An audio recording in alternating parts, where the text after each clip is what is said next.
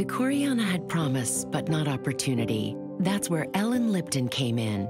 After battling Betsy DeVos and for-profit schools, Ellen fought to bring Promise Zones to her community, providing college tuition and vocational training to kids with dreams, but without the resources to achieve them. Now DeCoriana's in college, and Ellen Lipton's running for Congress. Because fighting for public schools isn't new, but it is personal. I'm Ellen Lipton, and I approve this message.